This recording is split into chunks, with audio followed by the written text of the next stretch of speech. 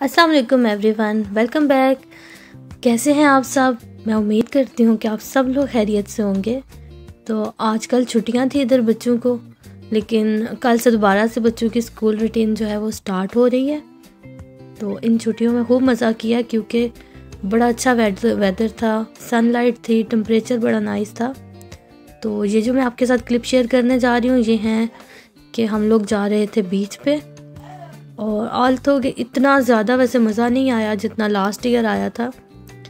तो लेकिन फिर भी अच्छा था बीच देख लिया था, बस इतनी खुशी बहुत थी।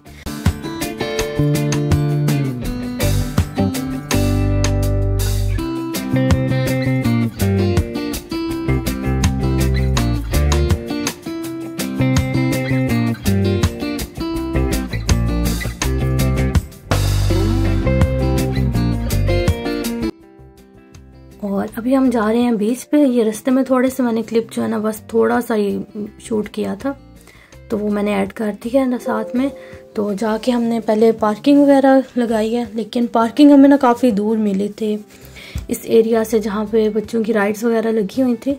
तो ये जो सामने आपको पार्क नज़र आ रहा है ये ज़्यादा बड़े बच्चों के लिए है मीन्स अडल्ट के लिए। तो यहाँ पे तो हम लोग नहीं जाते हैं लेकिन सा, थोड़ा सा आगे ना इधर से। तो बच्चों के लिए छोटे छोटे झूले वगैरह लगे हुए थे तो काफ़ी इंजॉय किया था। आई एम सॉरी तो लास्ट ईयर की बात करें तो लास्ट ईयर जब लॉकडाउन था, जब हम लोग बीच पे चले गए थे, लेकिन उस दिन ठंडी हवा चल रही थी बहुत ज़्यादा। मौसम भी ऐसे ही था, बस क्लाउडी सा वेदर था। वो भी मैंने शेयर किया हुआ आप लोगों से व्लॉग तो आज जो है काफ़ी ज़्यादा सनी था 24, 25 टेम्परेचर था और बहुत ज़्यादा बिज़ी था। बहुत ज़्यादा फैमिलीज़ निकली हुई थी। आप लोग को नज़र आ रहा होगा लेकिन हम लोग डाउन में नहीं गए थे। बहुत दूर था पानी बहुत ज़्यादा दूर था। तो बस हमें पार्किंग को ही ढूंढते हुए काफ़ी ज़्यादा टाइम जो है ना हमारा वेस्ट हो गया था। लेकिन फिर भी चले बच्चों ने एक दफ़ा जो है ना बाहर एक चक्कर लगा लिया था। मुझे खुद भी कहीं पे भी जाने का इतना खास शौक़ वगैरह नहीं है कि मैं मार्केट्स में जाऊँ या बाज़ारों में या शॉपिंग करूँ नहीं। मुझे बस ये ज़्यादा अच्छा लगता है कि एक तो बीच पे चले जाएँ या फिर कोई ने, नेचुरल ब्यूटी हो उस जगह पे बंदा जाए तो रिलैक्स हो।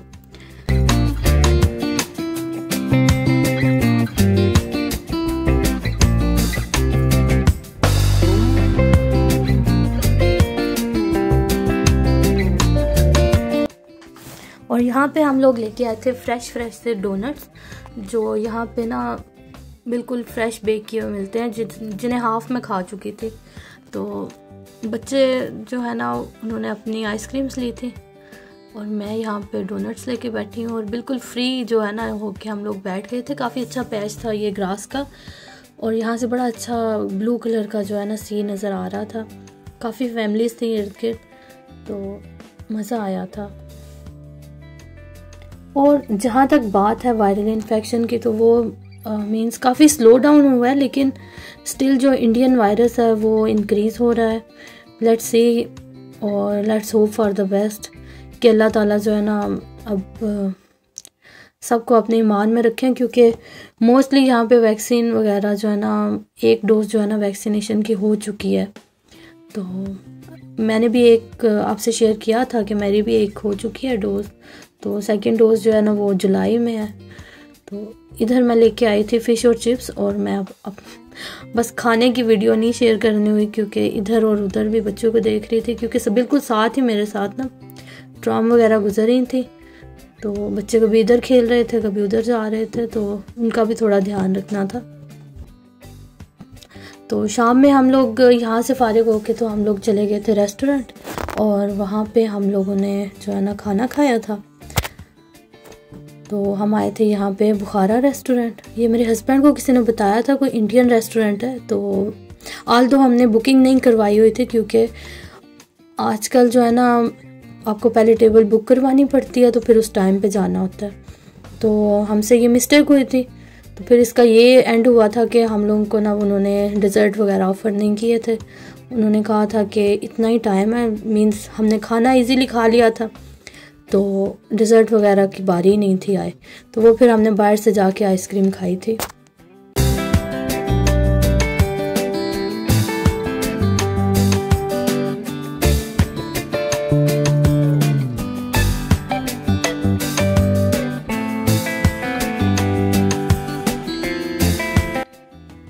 जो सबसे मज़े की चीज़ थी ये जो आपको मैं दिखा रही हूँ ना ग्रिल इनके मिक्स ग्रिल प्लेटर था यही सबसे ज़्यादा टेस्टी था। ऑल तो थोड़ा सा मुझे कंपेरेटिवली दूसरे जो रेस्टोरेंट्स हैं उनसे थोड़ा सा ना ये एक्सपेंसिव था। थोड़ा सा नहीं डबल कर लें। लेकिन आ, इनके जो है ना मिक्स ग्रिल वो बहुत मज़े की थी। और ज़ाहिर है जब हम लोग बाहर खाते हैं तो हमें वैसे भी अच्छा लगता है लेडीज़ को तो मोस्टली क्योंकि एक जैसी रूटीन होती है। तो थोड़ा सा अगर कभी चेंज आ जाए तो अच्छा फील होता है। लेकिन जैसे इधर लॉकडाउन था तो यू नो कि एवरीथिंग वॉज़ क्लोज तो ज़ाहिर है, अब तो हर एक का ही बनता है, हक के बाहर निकलो। लो इधर आपको नज़र आ रहा है एक प्यारा सा चुन्ना मुन्ना सा प्लांट तो ये प्लांट जो है ना, ये मैं विल्केसन से लेके आई थी। आजकल मुझे ना इंडोर प्लांट्स का क्रेज़ हुआ हुआ है। तो बस मुझे बस जिन दिनों में जिस बात का क्रेज़ हो जाए ना, वही काम मैं करती रहती हूँ। तो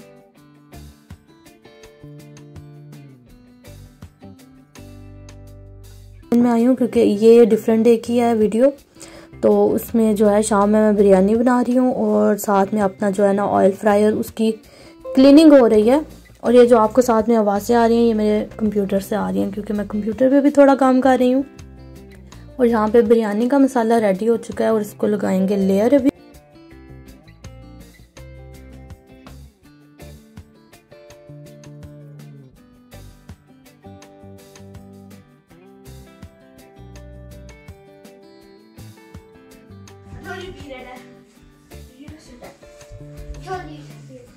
Yeah, whatever. What is happening? Get on.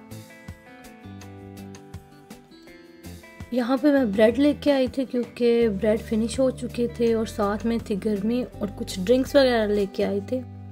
बस वही पड़े हुए हैं और उनको मैं अपनी अपनी जगह पे रख दूँगी और उसके बाद किचन में जाऊँगी क्योंकि किचन में मैं डबल काम स्टार्ट कर दिया हुआ है। क्योंकि टमारो के लिए मैंने प्लान किया हुए थे एक छोटी सी पिकनिक तो उसके लिए जो है मैं, मुझे ना मीठे में केक बनाना था। तो बस मैं एक साइड पे बिरयानी का काम कर रही हूँ और साथ साथ में सिंपल स्पंज केक है तो वो तैयार कर रही थी। तो उसके लिए इधर मैंने अंडे वगैरह जो है ना, वो निकाल के रख लिए हैं और साथ बीटर भी रेडी कर लिया है। लेकिन उससे पहले जो है ना, मुझे बिरयानी को दम लगाना है। और अभी मैं ये काम कर रही थी तो साथ ही डोर बेल हुई है और मेरी नेबर से ना सिस्टर भी हैं, बहन भी हैं, बाजी भी हैं। सिस्टर और बहन तो एक ही चीज़ हुई। तो उन्होंने थोड़ा फ़ूड भेजा था घर में। आई थिंक उनके घर कोई छोटा सा फ़ंक्शन था। तो खूब भूख लगी हुई थी। हम लोग बिरयानी का वेट कर रहे थे। लेकिन बच्चों ने फिर भी बिरयानी का ही वेट किया था। लेकिन मैंने खा लिया था। बहुत मज़े की ये ड्रम स्टिक्स थी, साथ में जरदा था, पुलाव था, सालन और रोटी थी। तो ये जो है ना, मैंने मैंने तो खा लिया खूब। तो माशाल्लाह बहुत टेस्टी था।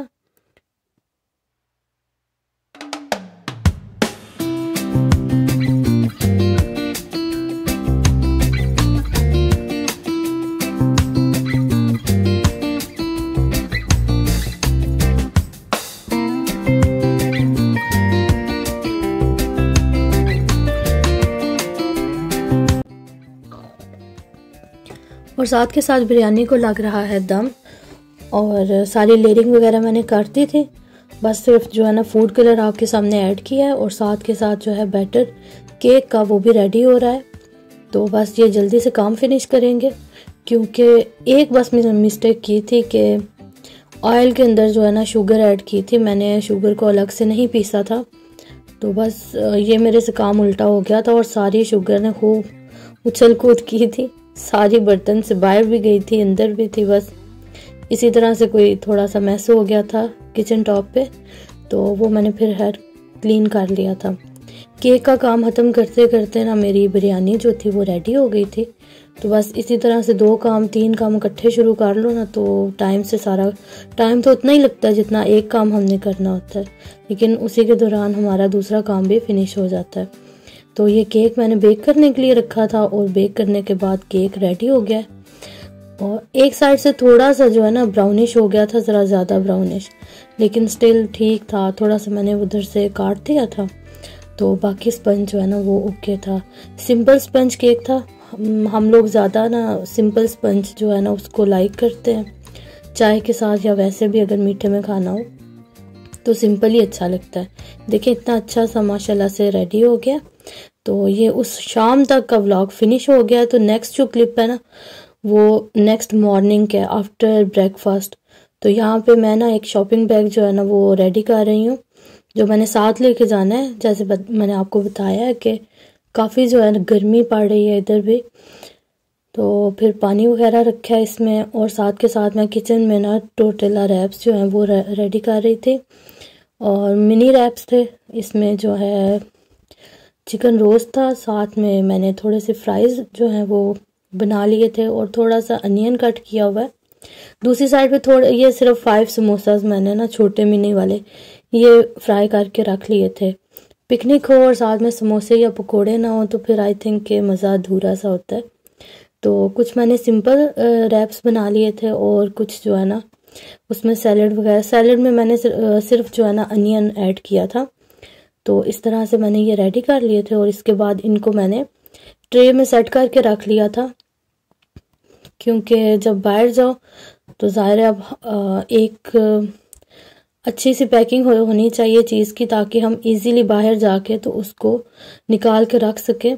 लेकिन मेरे से अनफॉर्चुनेटली वहाँ पे जाके तो वीडियो कैप्चर नहीं करनी हुई थी बिकॉज़ हम लोग एक छोटी सी हिल टाइप थी जहाँ पे हम लोग बैठे थे। तो उधर जो शीट है ना वो उड़ रही थी। तो बस इसी चक्कर में ना तो बच्चों ने अलग अलग बैठ के खाना स्टार्ट कर लिया। तो बस छोटी सी पिकनिक पार्टी हो गई थी, बच्चे खुश हो गए थे। मेरी बेटी को बहुत शौक है कि इस तरह से छोटे छोटे एडवेंचर बंदा करे। तो उसके लिए यही सारा अरेंज किया था। तो साथ के साथ मैंने केक के छोटे छोटे स्लाइसेस बना के, मेरे पास छोटा कंटेनर नहीं था तो फिर मैंने डिस्पोजेबल प्लेट ले ली थी और उसमें वो वाले स्लाइसेस जो है ना, वो एडजस्ट करके ऊपर से मैंने प्लास्टिक कवर से अच्छी तरह से रैप कर दिए थे। ताकि जो है उस, वो ड्राई भी ना हो, क्योंकि सिंपल स्पंज होता है। अगर उसको ओपन एयर में रखें या ढके बगैर रखें तो वो बिल्कुल ड्राई सा हो जाता है। तो इस वजह से मैंने इसको ऊपर से कवर कर लिया था। साथ के साथ एक बैग में मैंने कोल्ड ड्रिंक्स पाइप्स और टिश्यू वगैरह रख लिए थे, जो काफ़ी यूज़ होने वाले थे। वापसी में हमारे पास पानी बिल्कुल ख़त्म हो गया था। बच्चे बार बार पानी पी रहे थे। तो बस ये इसी तरह से सारी चीज़ें रेडी हो गई हैं। तो उसके बाद हम जहर की नमाज़ से पहले ही हम लोग निकल चुके थे और अच्छी सी सनलाइट थी। तो ये रास्ते में एक क्लिप है जो मैं आपके साथ शेयर कर रही हूँ। आई होप कि आपको ये जगह अच्छी लगेगी। तो वॉकिंग वॉकिंग ट्रैक बहुत अच्छा था और अच्छी प्लेस थी रश नहीं था बिज़ी नहीं था। तो इनशाला फिर मिलते हैं एक और ब्लॉग में। टिल देन अल्लाह हाफिज़।